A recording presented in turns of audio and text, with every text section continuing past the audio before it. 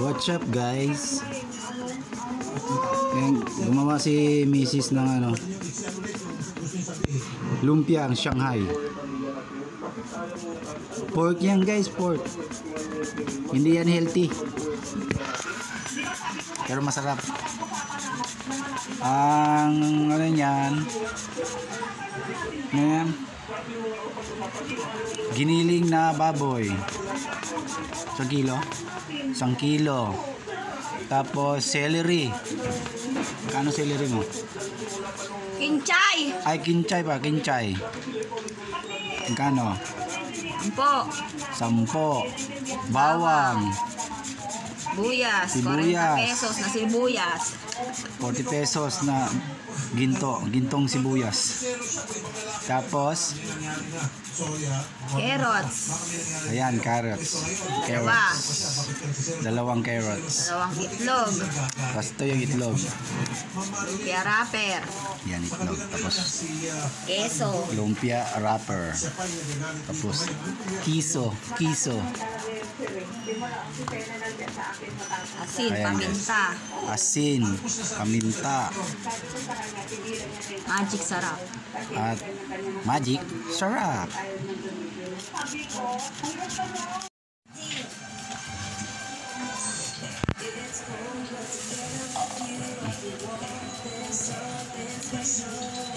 Buko juice guys.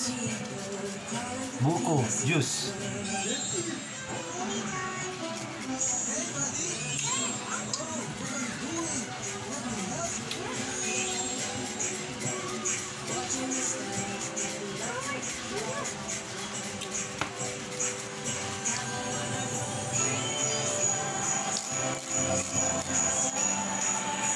Maganda yung sobrang mabait. Pinagsasamantalahan. Pinagsamantalahan po sir yung sobrang kabaitan niyo sir. Yun lang yun. Sobrang, bait ko kasi siya rin. Eh. Sinong tao siya. Itlog. Ako, mabait talaga ako siya. Totoo sir. Dapat magtira ka ng konting angas.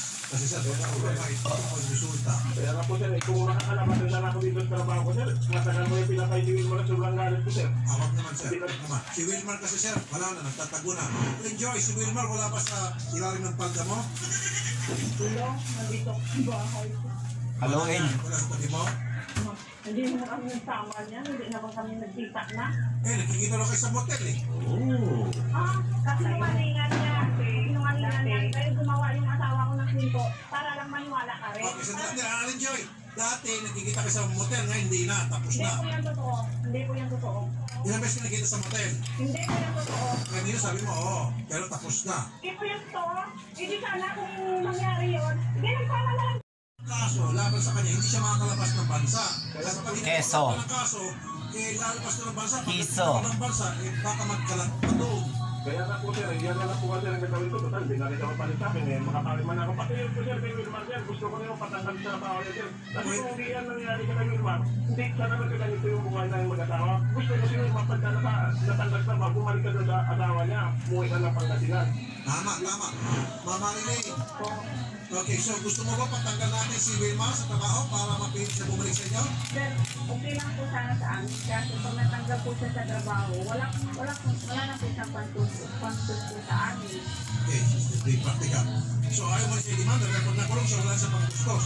Opo. Gusto ko po, sa kuwenta ni Rumay, pabalikin na sa amin, pero magtatrabaho siya. Pero gusto ko, mangangako, mangangako si Alin nila, si Rumay, na hindi na sila magkakaroon ng komunikasyon at at babalik babalik na sila sa amin. Kaya babalik na sila sa kanya-kanya na kasawa para matapos yung problema namin. Anel, Noya, ng Valenzuela, magandang po po siya, Anel. Idol, sabi ko lang po, sana bumalik ka rin sa asawa niya, nakakabait ko kay Ronald. Sige po, gusto ko sa akin si Arenjo, ikaw po siya. Mga pangyayon na lang po, balikan mo na lang po ito, Ronald, napakabait naman po. Binigay ko sa'yo lahat. Bakit mo nasabi, mas malaki yung kay Amen. kay Ronald? Wala naman ako sinabi mas malaki ha. Payat na sila mas malaki. Mas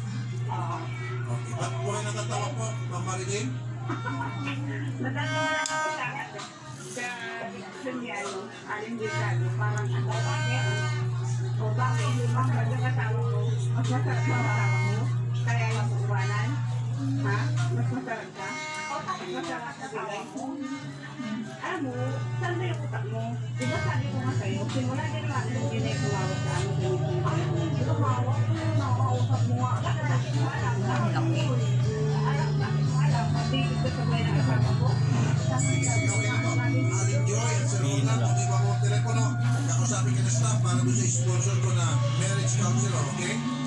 Mm.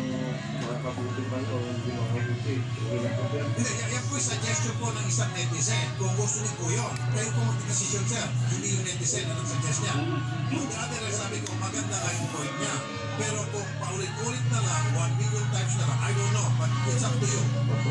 So, bigyan pa siya ng another chance. So, bibigyan ko sa pa ako ng copy ng kay Wilmar. Sasampa pa ng kaso si Wilma, Heroes, may dining, kitchen, maid's room, office area, at saka living area. And sa second floor naman, nandoon lahat yung mga rooms. Nandun yung two bedroom, Guys, at nandun yung master bedroom. sample guys. At meron din siyang family area. Sample. At meron siyang common na bathroom para doon sa dalawang bedroom. So yun na rin meron. Ito yung ginamit na reference o, o background doon Mm. sa pag, uh, Yup. pag uh, layout ng electrical. Ito na yung first page ng electrical drawings mga kainero. Lagi niyong tatandaan Ayos. mga kainero para hindi kayo maligaw. Pag nagbabasa kayo ng tayo? lagi niyong basahin muna yung general notes at yung legend and symbols. Andito pinapasin kakalan natin na lagi yung malit na bagay Okay na. na ito, wala masyadong information. Pero tandaan niyo mga Ayos na ayos. sa general notes at saka sa legend and symbols. Hindi dito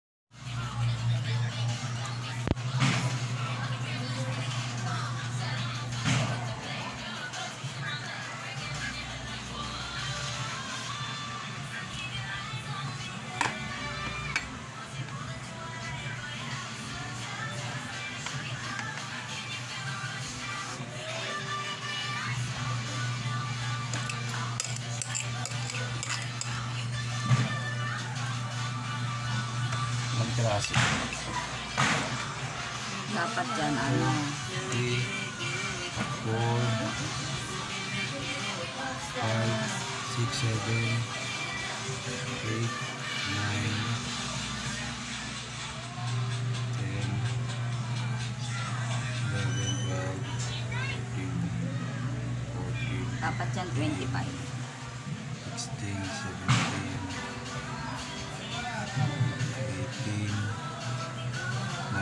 19, 20.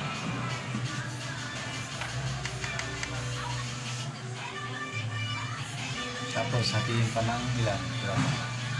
Ilan? Hati lang? Ha? Ha? Hatiin lang?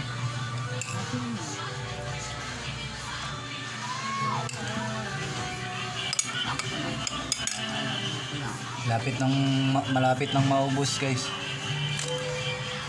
Yan na lang. Bali ano siya? 25 25 piraso. Ito. Tapos hatiin. Hatiin sa gitna. Bali 50 50 pieces. Mahaba guys eh.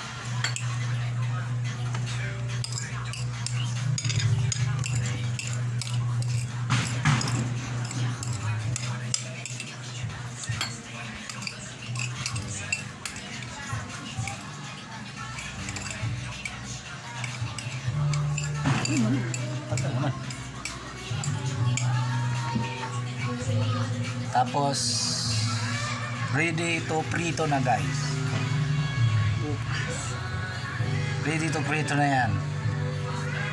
Para bukas yan. Pre-taste lang yung kanina. Ayos. Sarap guys.